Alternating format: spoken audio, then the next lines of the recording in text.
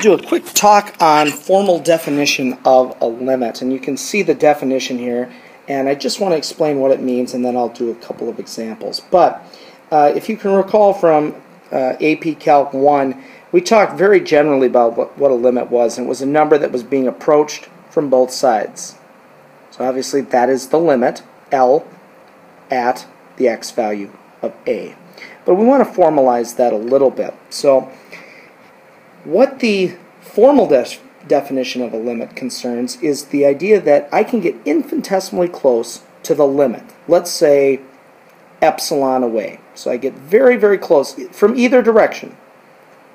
And to do that, I need to get delta away from the x value we're calling a in this picture. So you can see that stated up here that you know the limit is L. Okay, there it is. There's the limit. Then to get epsilon units away from L, we need to get delta units away from A. Okay, one more time. You kind of look at the picture. If I want to get epsilon units away from L, I need to get delta units away from A, essentially telling you that you can get infinitesimally close to the limit by just getting infinitesimally close to the x value of choice. So let's do an example. The limit as x approaches 2 of 4x plus 1 is 9. Now, of course, we already know that, and that's very easily done. All we'd have to do is substitute 2 in. 4 times 2 plus 1 is 9. But you can see I've given you an epsilon. And basically what I'm saying is I want to be within 0.01 of that value. So really I want to be between 8.99 and 9.01.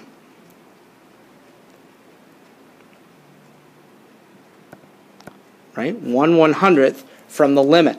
So essentially I've got to find the x values that will help me achieve a y value one hundredth away from the limit. Now let me do that and then I'll explain why this proves that the limit exists in just a minute. But going back to the formal definition, what we're aiming for is to say that x minus 2, and remember that 2 just comes from right here saying we're approaching 2. This has got to be less than a delta. Along with that, we know that our function, 4x plus 1, has to be epsilon or 0.01 away from 9. So we want to figure out how close you have to be to 2. And that really is the point here. How close do you have to be to 2 in the x direction to be within 1 hundredth in the y direction, the function minus the limit? Well, I kind of just ignore that x statement to begin with. I'm just going to kind of work right down here. I'm going to simplify this and say it's 4x, let's see, plus 1, so it's minus 8. Okay.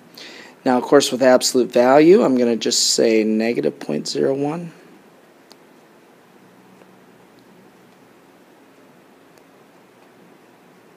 Okay. I'm going to add 8 to both sides. We have 8.01, 7.99. I'm going to divide both sides by 4. Like that. And when you do that, this side comes out to be 1.9975 and 2.0 025. Now, we can go back up here to figure out what delta is because we can plug those in. We can say, well, 1.9975 minus 2 is negative 0.0025, uh, but absolute value, so we have 0.0025. It's less than delta. So here's what we did we just showed that the difference between the function and the limit is less than the epsilon given as long as the x is between 1.9975 and 2.0025, which, since we're approaching 2, it needed to be 0.0025 away from 2. That's how close it needed to be. Now, in a picture, let me just go back to that original picture and show you what I mean. Now, what I just did was I showed that, let's say, and obviously this isn't the same picture, but let's say the limit is 9, and to get within one hundredth of 9.01, I needed to get between, or within 0.0025 of 2. Now, you say to yourself, well, how does that prove there's a limit? Well, the epsilon was arbitrary. I could have picked any epsilon I wanted. I just happened to pick 0.01, but I could have picked 0.0001 or 0.000001. So saying that epsilon is arbitrary, what we just showed is that, at least for the first case, when I pick an epsilon, I can find a delta that will get me within that epsilon of the limit. And remember, that's what a limit is. It says it approaches from both sides and gets really, really close, but doesn't necessarily need to touch. So that's what we show. Now, here's another example.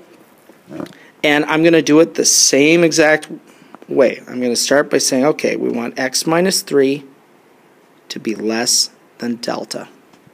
So I'm going to go over here and say x squared, the function, minus the limit, has to be less than 0.05, the epsilon given. And again, I would just deal with with uh, this side to begin with. There's no point in trying to do both at the same time. So let's uh, restate it without the absolute value.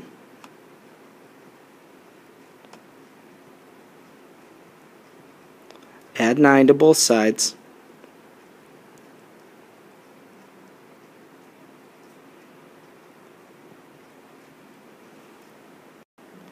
Take the square root of both sides.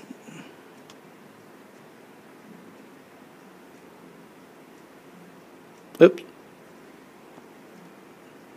Rid of that.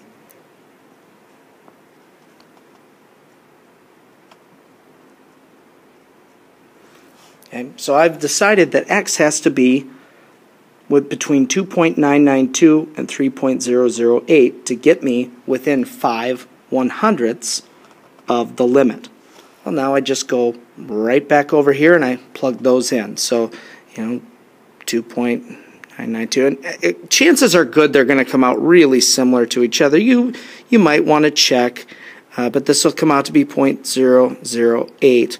And we'll say that that is our delta, that we have to get within 8 thousandths to get of the x value to get within 5 one hundredths of the y value. Now, Now let me show you quickly how this can work for general, a general case, because now I'm just going to do for epsilon. So I'm going to start the same way. x minus 2 has to be less than delta. 4x plus 1, function minus the limit, less than, notice it's just epsilon. epsilon. I'm going to do a little simplifying. Now, at this point, you could solve it exactly the same way. You could put it between a negative epsilon, positive epsilon, add 8, divide by 4. But I want you to look at how slick this is. I could pull a 4 out, be left with x minus 2. Take a look at this. x minus 2 is right here, x minus 2 is right here.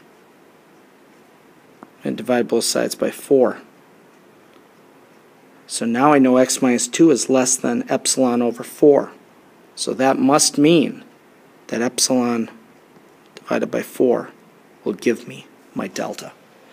And that is the proving of it. Now I've shown that, you know what? It doesn't matter what epsilon is. If I take epsilon divided by 4, I'm going to get with I'm going to get uh, the delta that will give me the limit.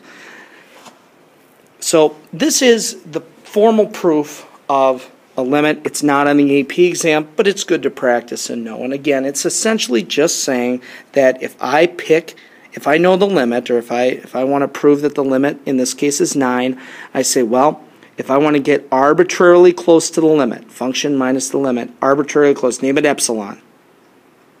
Then how close do I need to be in the x direction? Well, it turns out if I take my given epsilon and divide it by 4, that'll tell me how close I had to be. So, you know, this is kind of a nice way to do it because that way if I said, oh, I, I want epsilon to be 1, well, then you say, okay, well then delta has to be 1 fourth. So if you want to be within one unit in the y direction, you got to be within one fourth in the x direction.